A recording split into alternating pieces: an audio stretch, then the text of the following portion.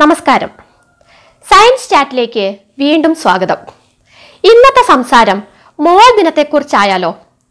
മോൾ ദിനം എന്നതുകൊണ്ട് ഉദ്ദേശിച്ചത് രസതന്ത്രത്തിലെ മോളിനെ കുറിച്ചും ആ ദിനത്തെക്കുറിച്ചും സംസാരിക്കാനാണ്. മോൾ ദിനവുമായി ബന്ധപ്പെട്ട് കൗതുകകരമായ ഒരു കാര്യം എന്താണെന്ന് വെച്ചാൽ ഈ മോൾ ദിനം ഒരു സംഖ്യയുമായി ബന്ധപ്പെട്ട് കിടക്കുന്നുണ്ട്. അത് അവഗാഡ്രോ സംഖ്യയാണ് അവഗാഡ്രോ സംഖ്യ എന്ന് പറഞ്ഞാൽ ആറ് പോയിന്റ് പൂജ്യം രണ്ട് രണ്ട് ഇന്റു പത്ത് ഘാതം ഇരുപത്തിമൂന്നാണെന്ന് ഹൈസ്കൂൾ ക്ലാസ്സുകളിൽ എല്ലാവരും പഠിച്ചിട്ടുണ്ടാകും ഇതിൽ നിന്നാണ് മോൾ ദിനം വന്നിരിക്കുന്നത്. അതായത് എല്ലാ വർഷവും ഒക്ടോബർ ഇരുപത്തിമൂന്നിന് രാവിലെ ആറ് പോയിന്റ് പൂജ്യം രണ്ട് മുതൽ വൈകിട്ട് ആറ് പോയിന്റ് പൂജ്യം രണ്ട് വരെയാണ് മോൾ ദിനം ആചരിക്കുന്നത്. അവഗാഡ്രോ സംഖ്യയിലെ ആറ് പോയിന്റ് പൂജ്യം രണ്ടിൽ നിന്നാണ് സമയം വന്നിരിക്കുന്നത്. അതുപോലെ പത്ത് ഘാതം ഇരുപത്തിമൂന്ന്. ആ പത്താണ് പത്താമത്തെ മാസമായ ഒക്ടോബർ. അതുപോലെ ഇരുപത്തിമൂന്ന് എന്നത് ഇരുപത്തിമൂന്നാം തീയതിയും വന്നിരിക്കുന്നു. അങ്ങനെയാണ് എല്ലാ വർഷവും ഒക്ടോബർ ഇരുപത്തിമൂന്ന് മോ ദിനമായി ആചരിക്കാൻ തീരുമാനിച്ചത്. യൂണിറ്റുകളുടെ എസ് ഐ സിസ്റ്റത്തിൽ ദ്രവ്യത്തിന്റെ അളവിനെ സൂചിപ്പിക്കുന്ന യൂണിറ്റാണ് മോൾ എന്നറിയാമല്ലോ.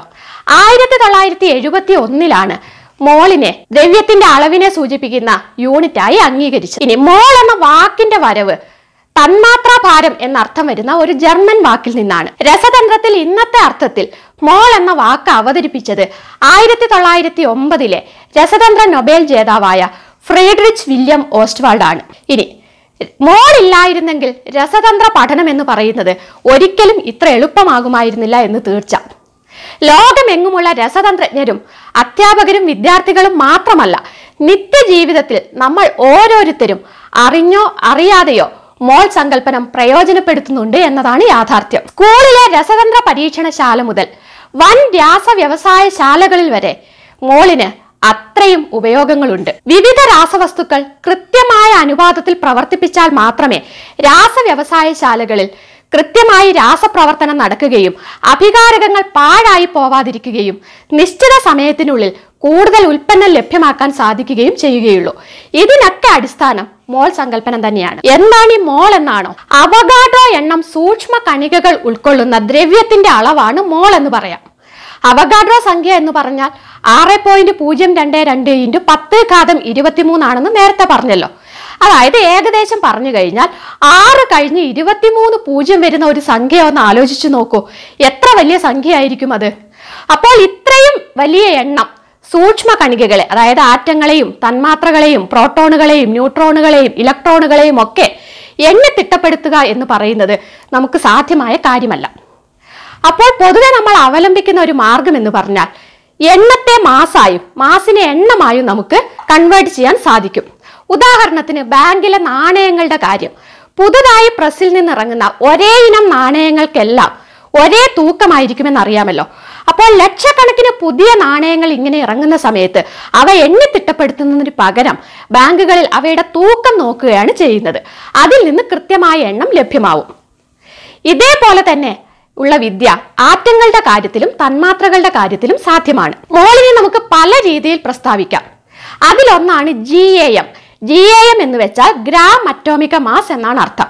അതായത് ഒരു മൂലകത്തിന്റെ അറ്റോമിക മാസിന് തുല്യമായ അളവിൽ ഗ്രാം എടുത്തു കഴിഞ്ഞാൽ അതിനെയാണ് ഒരു ജി എ എം എന്ന് പറയുന്നത്. ഒരു ജി എ എം ഏത് പദാർത്ഥം എടുത്താലും അതിലടങ്ങിയിരിക്കുന്ന ആറ്റങ്ങളുടെ എണ്ണം എന്ന് പറയുന്നത് അവഗാഡ്രോ സംഖ്യയായിരിക്കും. അതായത് ഒരു ഗ്രാം ഹൈഡ്രജനിലും പതിനാറ് ഗ്രാം ഓക്സിജനിലും പന്ത്രണ്ട് ഗ്രാം കാർബണിലും ഒക്കെ അടങ്ങിയിരിക്കുന്ന ആറ്റങ്ങളുടെ എണ്ണം എന്ന് പറയുന്നത് ആറ് പോയിന്റ് പൂജ്യം രണ്ട് രണ്ട് ഇന്റു പത്ത് ഘാതം ഇരുപത്തിമൂന്നാണ്. ഇനി മോളിനെ ജി എം എം ആയും നമുക്ക് പ്രസ്താവിക്കാം. ജി എം എം എന്ന് പറഞ്ഞാൽ ഗ്രാം മോളിക്കുലാർ മാസ്.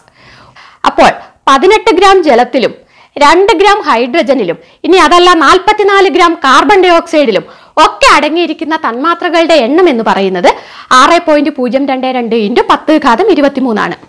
ഇനി വാതകങ്ങളുടെ കാര്യമെടുത്താൽ അവയുടെ വ്യാപ്തത്തിന്റെ ടേമിലും മോളിനെ നമുക്ക് പ്രസ്താവിക്കാം. S T P S T P എന്ന് പറഞ്ഞാൽ ഇരുപത്തി ഇരുന്നൂറ്റി എഴുപത്തി മൂന്ന് കെൽവിൻ താപനിലയും ഒരു അറ്റ്മോസ്ഫിയർ അന്തരീക്ഷ മർദ്ദവുമാണ് എസ് ടി പി എന്നതുകൊണ്ട് ഉദ്ദേശിക്കുന്നത്. എസ് ടി പിയിൽ ഒരു മോൾ ഏത് വാതകം എടുത്താലും അതിന്റെ വ്യാപ്തം എന്ന് പറയുന്നത് ഇരുപത്തിരണ്ട് പോയിന്റ് നാല് ലിറ്റർ ആയിരിക്കും. മോളിനെ നമുക്ക് ഏതൊക്കെ രീതിയിൽ പ്രസ്താവിക്കാമെന്ന് ഇതിൽ നിന്ന് നമുക്ക് മനസ്സിലാക്കാം. ഇനി മോൾ ദിനാചരണത്തിന്റെ ചരിത്രം കൂടി പറഞ്ഞുകൊണ്ട് അവസാനിപ്പിക്കാം. ആയിരത്തി തൊള്ളായിരത്തി എൺപതുകളുടെ ആദ്യം മൗറിസ് ഓയിലർ എന്ന ഹൈസ്കൂൾ രസതന്ത്ര അധ്യാപിക. ദി സയൻസ് ടീച്ചർ എന്ന മാസികയിൽ ഒരു ലേഖനം എഴുതി. ഇതിൽ നിന്നാണ് മോൾ ദിനത്തിന്റെ പിറവി എന്ന് പറയാം. അങ്ങനെയാണ് ആയിരത്തി തൊള്ളായിരത്തി തൊണ്ണൂറ്റി ഒന്നിൽ അമേരിക്കയിൽ നാഷണൽ മോൾ ഡേ ഫൗണ്ടേഷൻ സ്ഥാപിതമാവുന്നത്. അതിനുശേഷം ഓരോ വർഷവും ഒക്ടോബർ ഇരുപത്തിമൂന്നിന് മോൾ ദിനമായി വിവിധ പരിപാടികളോടെ ലോകമെങ്ങും ആചരിച്ചു വരുന്നു.